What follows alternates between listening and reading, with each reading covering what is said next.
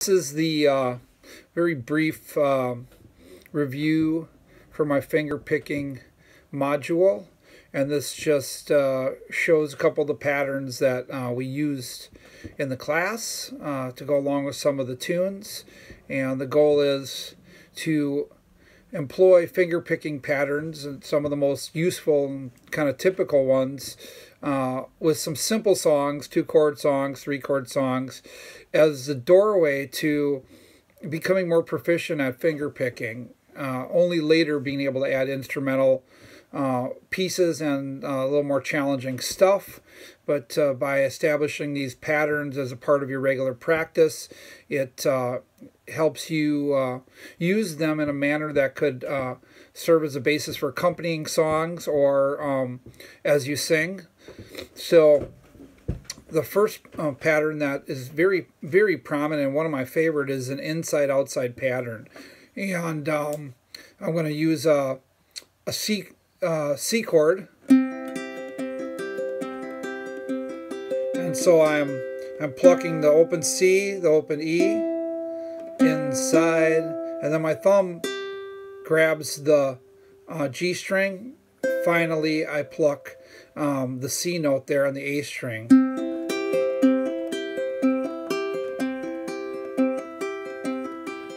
And one way to think of this inside, outside, inside, outside, inside, outside, inside, outside. And if you get that in your head, no matter what chord you play, it's the same exact pattern. So if I go C, F, G7, the pattern remains the same.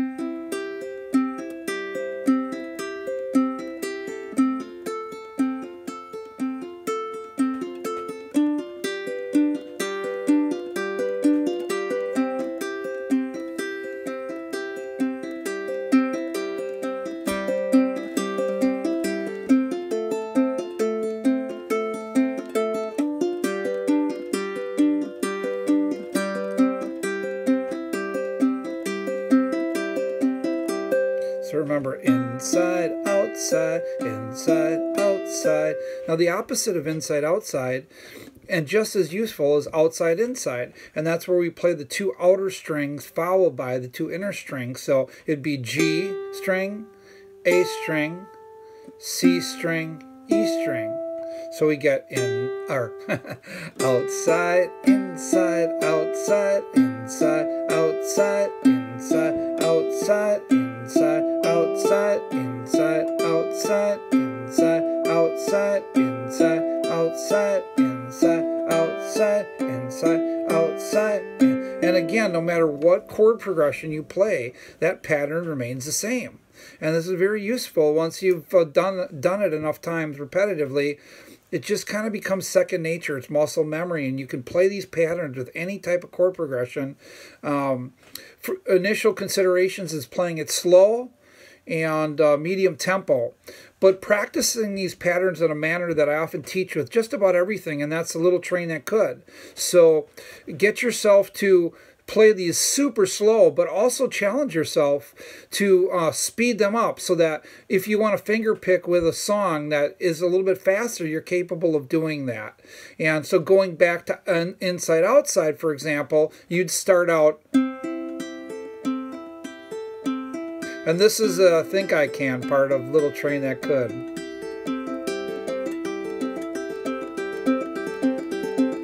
There's a I Know I Can.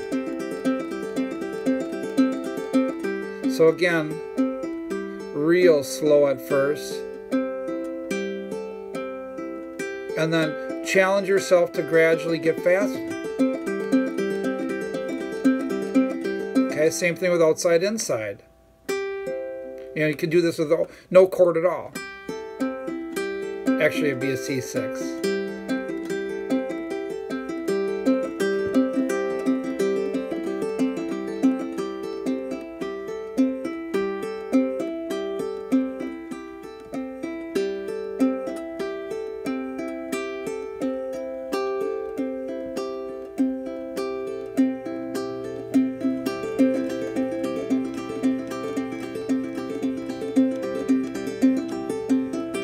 Again, if you play any chord progression, C, F, G seventh,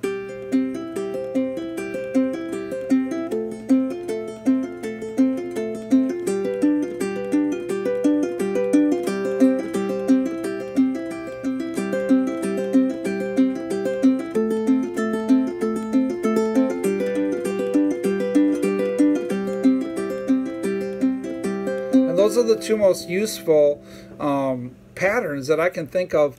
Uh, we also talked about doing uh, what's called a pinch stroke, and we use Down in the Valley, which is just a two chord song. And uh, to do that, we, we just kind of practice doing this. The pinch is, is where you're plucking two strings at once. So in this case, I'd be using my middle finger and my thumb, and I'd be plucking the G string and the A string while fingering a G chord.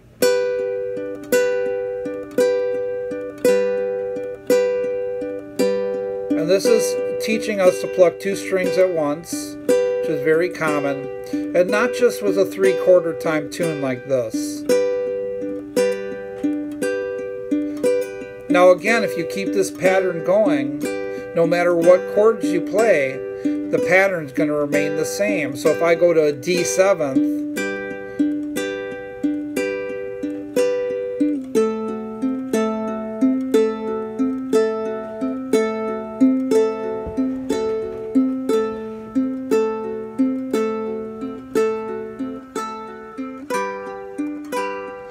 And once these patterns feel comfortable, then you can try, you know, adding some singing along with changing the chords.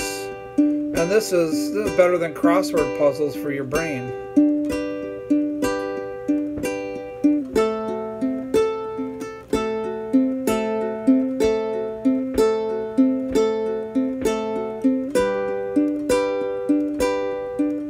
So that's the pinch. And again, no matter what chord you play, it remains the same. If I was to play an F chord, I'd, I'd still keep the two outer strings followed by the two inner. There's an F chord. There's my dog's barking.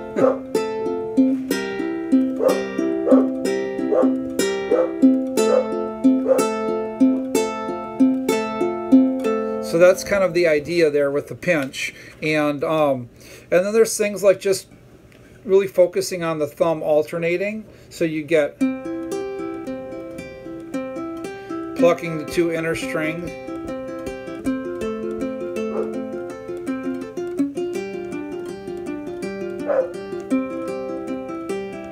And that's just concentrating on alternating that thumb.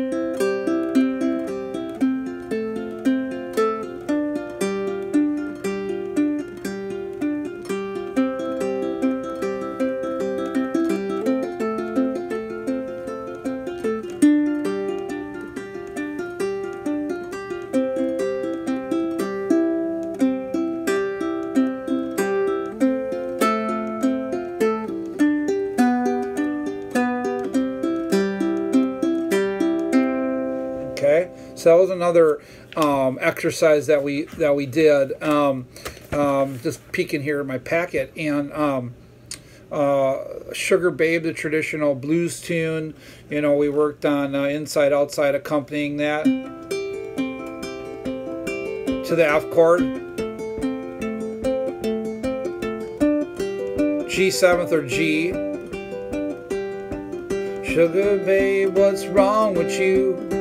Ain't you doesn't know the way you do? Sugar babe, it's all over now. So I'm doing inside outside on C. I'm doing inside outside on F. And then on G or G seventh, inside outside, back to C. So we get uh, C, F, C, G, C when you actually start to put it uh, with the song. And this is the concept, this is the idea. Pattern picking for finger picking proficiency. Sugar babe, what's wrong with you? Ain't you doesn't know the way you do? Sugar babe, it's all over now. All I want my babe to do Make ten dollars and give me two. Sugar babe, it's all over now.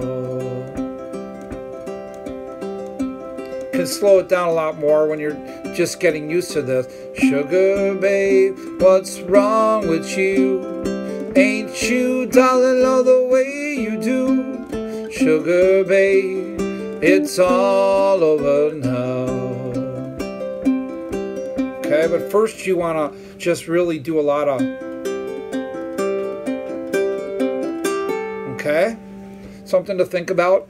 Um, then we talked about arpeggios, and we used tunes like uh, "Tis a Gift to Be Simple," um, and this is where every finger is assigned to a string, the Pima approach.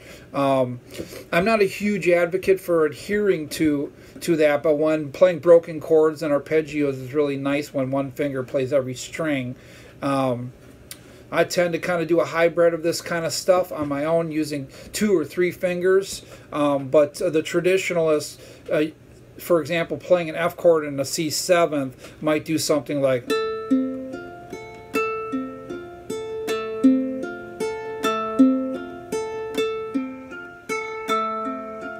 So every finger but the pinky is being used. C7.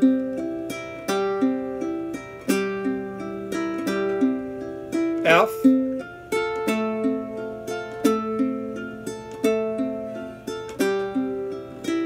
And that's great for accompanying the voice or accompanying others.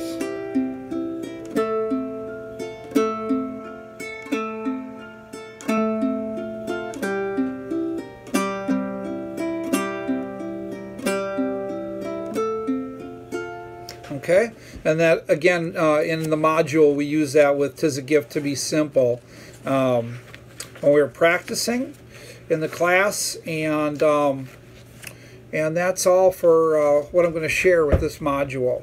Okay, there's other things uh, in the class that uh, are um, a part of the class itself, but I can't share uh, for copyright reasons. Okay, thank you so much.